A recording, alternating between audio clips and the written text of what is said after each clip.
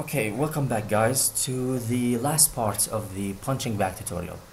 Now in this part what I'm gonna do is I'm gonna be receiving the Arduino uh, readings and translate this into a vector which gonna represent the direction in which the force is applied. And let me just see here. Yes, we get back into our script. Now, what we're gonna start, first of all, we're gonna use the ports, the serial ports. In order to use the serial ports, I need to include the system dot input output, and I'm gonna take the ports. And here I'm just gonna privately initialize a private serial port. I'm gonna call it stream as usual, and it's going to equal to a new serial port.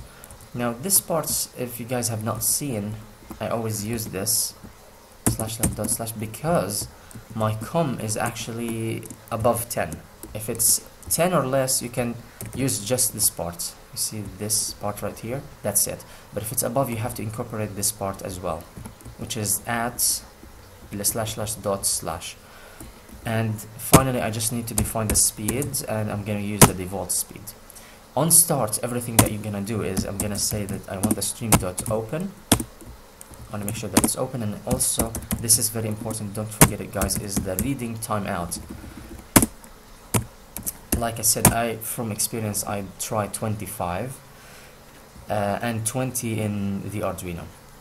But now before we get into the string reading receiving strings you guys need to know two things. First of all, about that string reading needs to run in its own threads and the timeout exception. Now, both are actually very related, and what happens is, let me just start here from a, a method in our enumerator. We're gonna read string method. And basically, guys, what's gonna happen is that I'm gonna say here try if the stream let me just explain it to you is open. Then I want you to try something. Try. This is going to be reading and this is what you're going to be catching. Then and catch the system dot timeout exception. Okay so basically guys what's happening when you are reading a string? I, I mean this is how I uh, imagine what happens is that I'll be reading character by character, but since I'm be reading whole lines, the Unity does not know when the line ends. So if the line is too long or sometimes when there is no nothing, it would say, okay, I give up, and it would throw a timeout exception. Otherwise, the program would freeze, and it's still holding. And, um, okay, uh, what else am I going to say? Okay, so the timeout exception. And the reason why I catch this because if you, typically the timeout exception would cause the program to abort, but by catching the exception, I would say, okay, don't abort, just perhaps debug or do something else. In my case, I'm not going to debug it for now. And but when I receive the value, which is going to be in my try, what is it that I'm going to do? I'm going to be reading my values into a string. I'm going to say string called the values or value. It's going to be equal what? The stream dot read line that's how I'm gonna be receiving my string data from my stream. And I think there has to be some capital letter perhaps. Yes.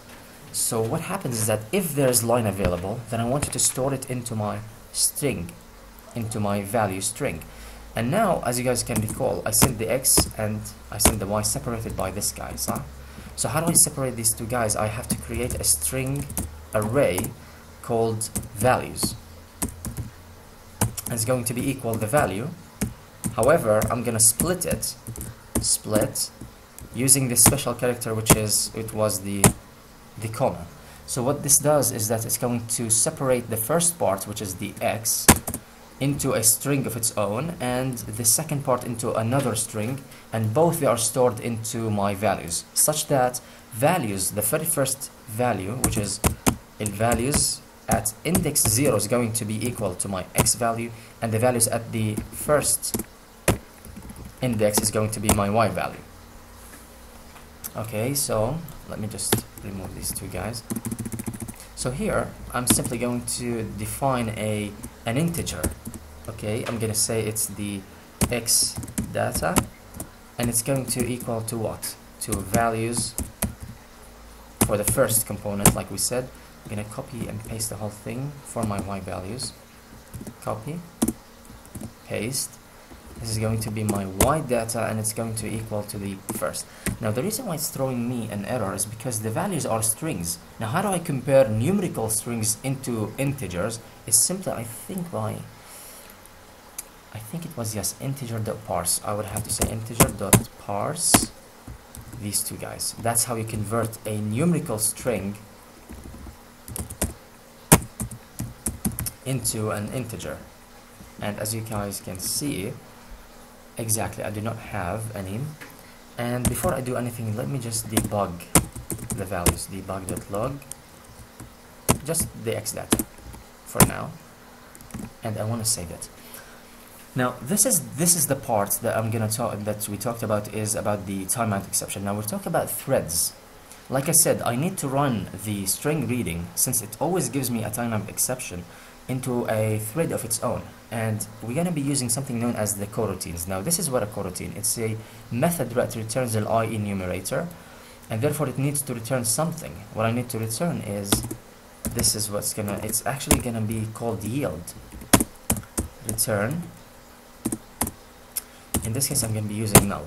Now sometimes I can return a delay of one second. So what I would end up with a loop that runs into just let me just because I want this to be constantly running as long as the program is I have to make while true right? Otherwise it would run just once. But no I want this process to keep iterating and repeating here like this. So what I end up having is a while loop that runs separately on a separate thread on its own uh, with a delay of null. And the delay of null it literally means that I want it to run as fast as the update method. So this is what I have while true. So basically while the program is running if the stream is open then I want it to try to read. If, it, if you can't read any values then it's gonna throw a timeout exception but I want it to catch it. Like don't do anything. And then return back and keep doing the same thing. Now once you read the values we're gonna get this information I'm gonna store that and مبدئيا we're just gonna to log debug my data okay so guys this is getting much longer than I expected so I think maybe we're gonna split this into two parts and for this part we're just gonna be logging this information and let me just connect my Arduino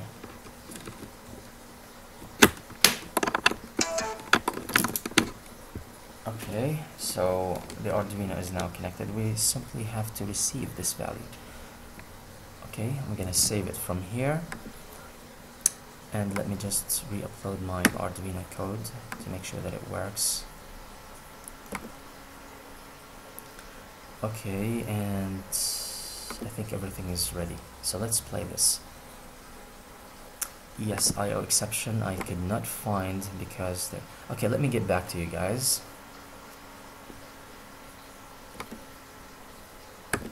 okay guys so I did check and apparently the USB was not connected well. So before we debug I just added one piece of code and that is on start we have to start our coroutine so what you do is you type start coroutine and you pass it the name of the method which in our case it's going to be read string. And that's all we need to do. So now back into our codes. Wanna see play we're just going to be reading you see here in the leftmost corner guys you have to look for values. Now this is 0 and this is 2255 so I'm getting the values of x correctly. And I'll be seeing you in the next tutorial while we'll be converting this into a vector